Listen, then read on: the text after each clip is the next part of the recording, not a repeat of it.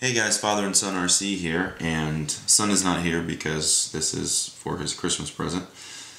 And um, I'm going to show you how to wire Traxxas connectors onto a battery pack. In this case, it's a 2S LiPo 2200 milliamp hour pack um, designed to fit the small, you know, these small little ones, designed to fit in a 1 16th scale Traxxas vehicle. And so I'm going to show you how to do that real fast. Okay, they come, this particular battery, these GeForce batteries come from valuehobby.com and recommend them, great value. I use their larger 2S LiPos, 7600 milliamp hour LiPos in my full-size Traxxas Summit and they work extremely well. They actually, I mean, they're rated at 7600 milliamps, but when I charge them, they take, um, I've seen them take over 8,000 milliamps. So they're actually um, really good value for the money, really inexpensive. You should check it out if you're looking for something like this. These particular ones were $12.50 each. So I have two of them. Um, I'm just going to show you one of them, but um, we'll start by opening this package. Traxxas package. Get them out. This is a, basically this is enough to do two batteries. Um, got the receptacles and then the little, these little plates for two batteries. I'm just going to show you one because it's the same for both, obviously, and show you how that's done. So I use this little helping hand deal right here uh, because it is the greatest thing for soldering. Makes it so easy to do. And we'll start by quickly tinning, just getting a little bit of solder. You don't need a ton. You just need enough enough so there's a little bead on on top of the thing here. I actually like to load it up on the thing and then just dab it on top. That's enough. As you probably know with Traxxas, if you read the instructions, you don't want um, to get any solder over the line. There's a little line on them. You don't want to get any solder over there because it just makes it really hard to get it in here. If you do, it's not the end of the world. If you if you get it over there and you have a file, I've done that as well, where instead of trying to mess with it and fiddle with it and try to, you know, get it back, just go ahead and do it, finish your project, and then take that metal file and just file it back a little bit. I've done that and it works fine. So it's not the end of the world if you do happen to do that. Um, so now I'm going to do the battery pack. Note of caution, you do not want to clip both wires at the same time. You want to just do one at a time. And, um, you know, for obvious reasons, you're going to get all kinds of sparking and stuff if you do that. So just do one at a time. And I'm going to start here with the negative lead. Go ahead and cut that. Pull the old heat shrink tubing off. One of the advantages, there's a you know debate about whether to use Dean style or Traxxas. One of the advantages I find with Traxxas connectors is you don't have to use heat shrink tubing, uh, which is really nice, and they work really well. So I'm going to go ahead and use my wire strip the strip there. You don't need a ton. You basically just need all that will allow it to sit on there um, and then shove it in. If you strip too much out, then you're going to have wire sticking out of the back of the connector um, which you don't want.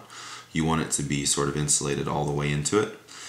Um, so you don't want any exposed wire like that. So you want to do about that much, a little less than a quarter of an inch, um, I would say, just enough so that it's uh, gives you what you need. Okay, so now I'm going to clip it into my helping hands. A quick note about these helping hands.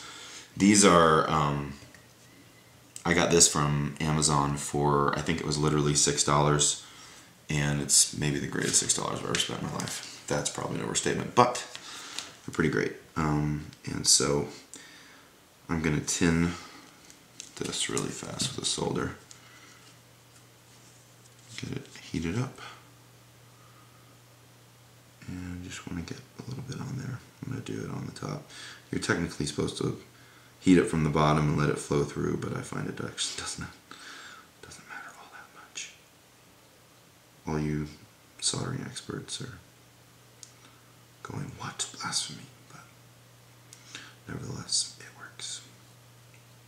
Okay, so I've got it tinned, which just makes it easier, frankly, when you put it together. Okay, and then use my helping hands here, put it together. Careful with the soldering iron because you don't want to burn yourself or burn your wife's countertop in the kitchen. That's really bad, which is what I'm doing now.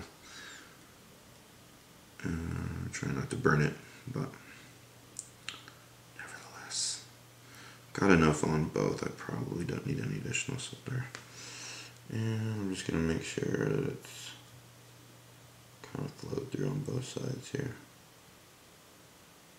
Got a good joint. Put a little more on top.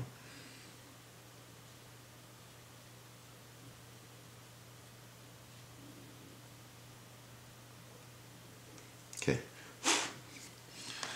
Looks good. I'm going to go ahead and let that one cool for just a second and then unclip it.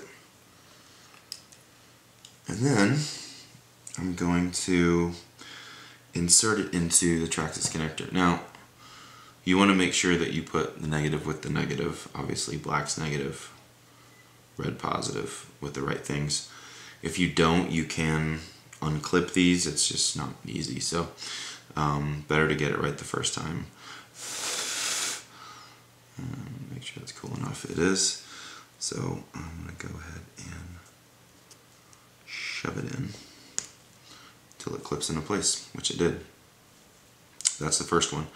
Um, the second one is exactly the same.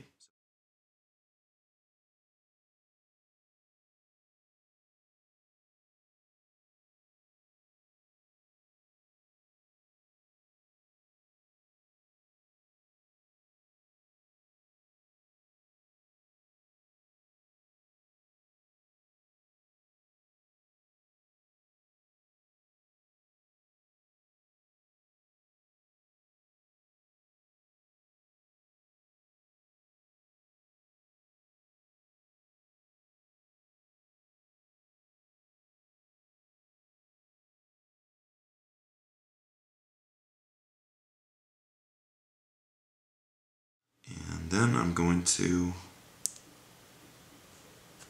shove it in the other side till it clips. If you don't feel it quite clip, which I didn't that time, um, you can grab a screwdriver and use the screwdriver just to, just that bottom part, there's the blade right there.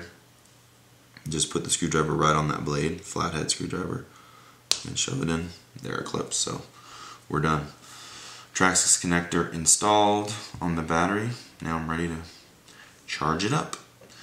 And that's all there is to it. Simple. Thanks for watching.